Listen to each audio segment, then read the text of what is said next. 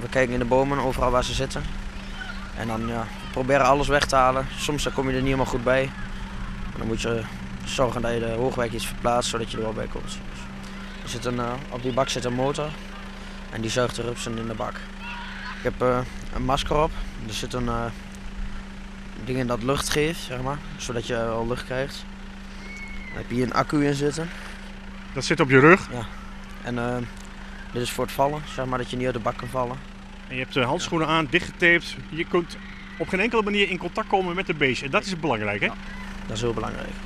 Anders dan eh, krijg je overal jeuk en bultjes. Dus Op dit moment is, is de, de, de eh, hoeveelheid meer als, andere, als, als vorig jaar. Eh, dat jaar daarvoor hadden we er ook erg veel. Ik had eigenlijk gehoopt door het koude voorjaar dat we er minder zouden hebben. Maar eh, zoals het er nu uitziet hebben we er meer en zijn de nesten ook groter. En wat daar de oorzaak van is, ja, dat durf ik zo niet te zeggen. Maar ehm, ja, het ziet er nou uit dat we, dat we er meer werk mee krijgen. Echt gevaarlijk is, is, is een groot woord.